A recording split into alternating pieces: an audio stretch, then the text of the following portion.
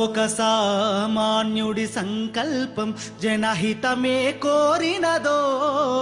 ఒక సామాన్యుడి సంకల్పం తలరాతలు మార్చినదో. ఒక సామాన్యుడి సంకల్పం.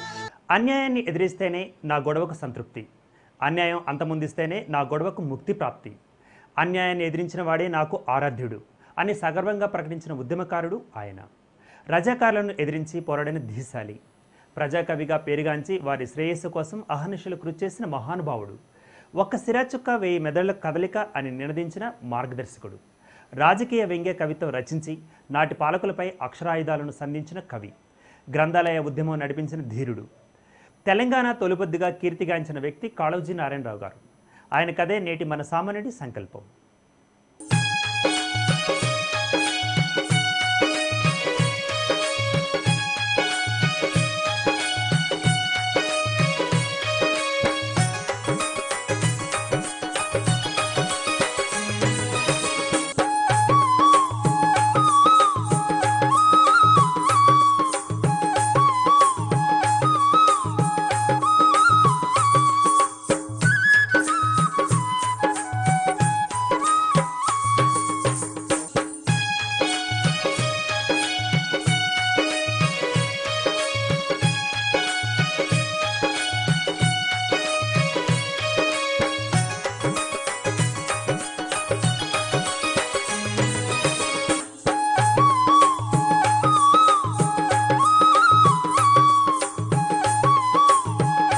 కాళోజీ నారాయణరావు గారు కర్ణాటక రాష్ట్రం బీజాపూర్ జిల్లాలోని రట్టిహళ్ళి గ్రామంలో జన్మించడం జరిగింది.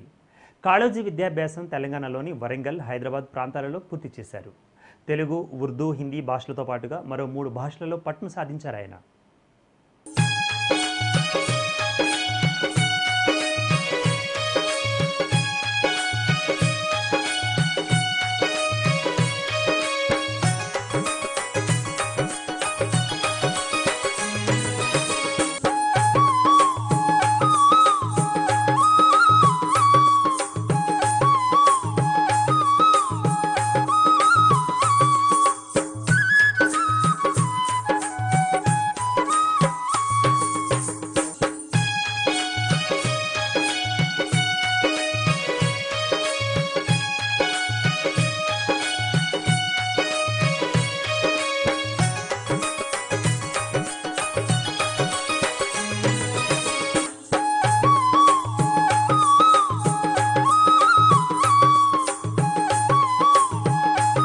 కాళోజీ అసలు పేరు రఘువీర్ నారాయణ లక్ష్మీకాంత్ శ్రీనివాసరావు రామరాజు రాజా కాళోజీ.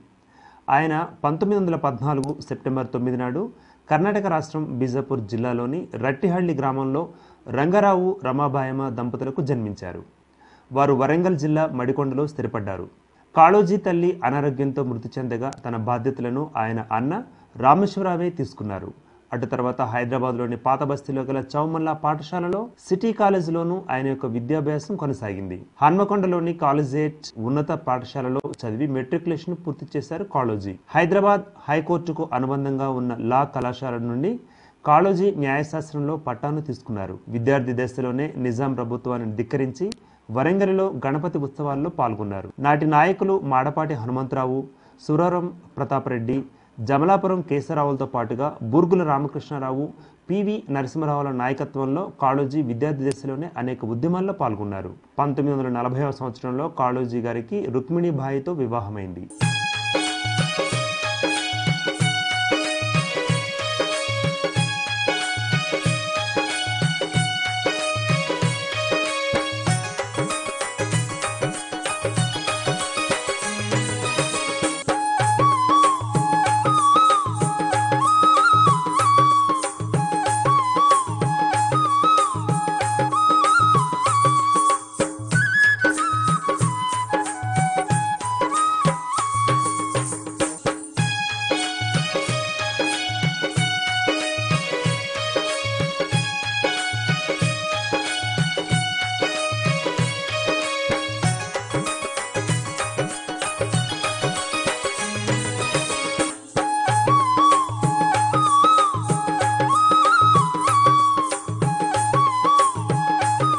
ప్రజా ఉద్యమకారుడు కవిగా పేరుగాంచిన కాళోజీ సామాజిక ఉద్యమాల పట్ల ఆసక్తిని చూపేవారు.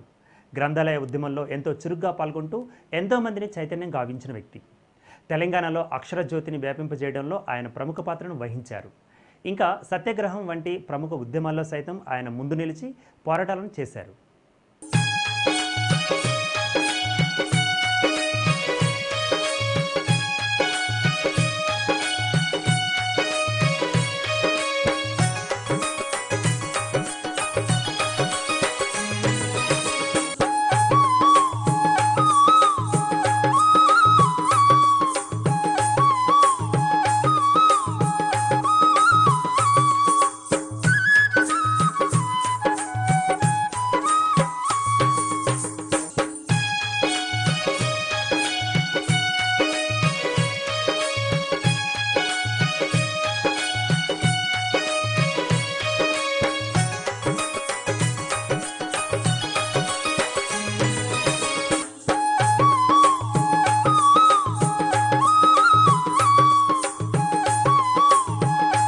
ఒక్క సిరా చుక్క వెయ్యి మెదళ్ళకు కదలిక అనే నినాదంతో కాళోజీ తెలంగాణలోని ప్రతి గ్రామంలోనూ ఒక గ్రంథాలయం ఉండాలని ఉద్యమించారు. గ్రంథ పఠనం ఆవశ్యకతను వివరిస్తూ ఉద్యమాన్ని మరింతగా ప్రజలకు తీసుకువెళ్ళారు.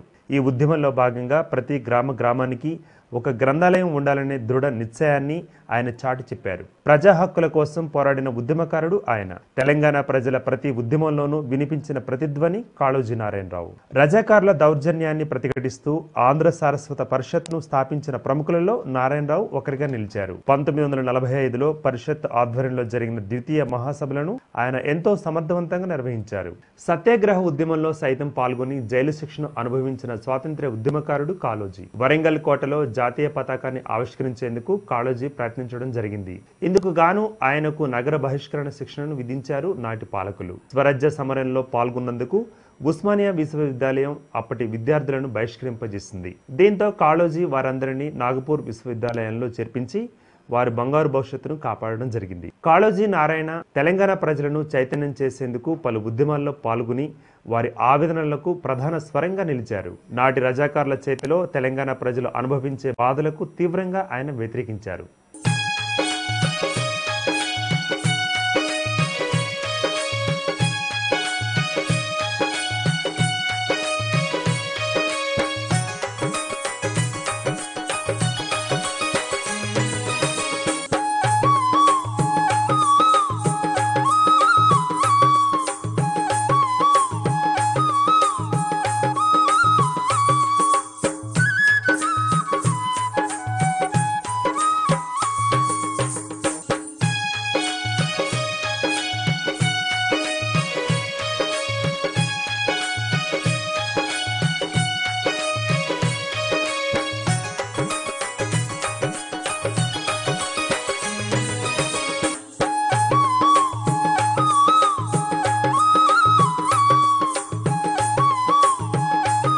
సామాన్యుడి సంకల్పం కార్యక్రమంలో చిన్న విరామం.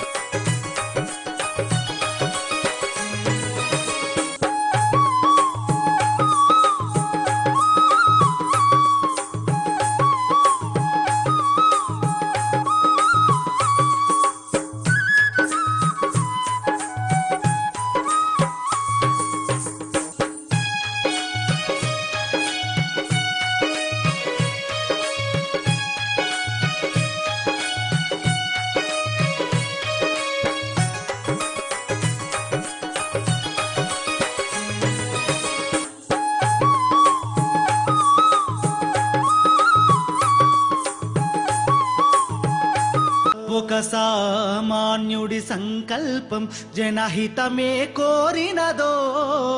ఒక సామాన్యుడి సంకల్పం తలరాతలు మార్చినదో.